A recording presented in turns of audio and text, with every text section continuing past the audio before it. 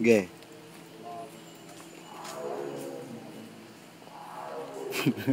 Đâu có thấy hả thấy dạ, không? Dạ đó nằm trong đây thấy nhưng mà mờ lắm. Thấy gì trơn mà gầm ghê quá. Kinh. Này đi đi gần gặp nó gầm.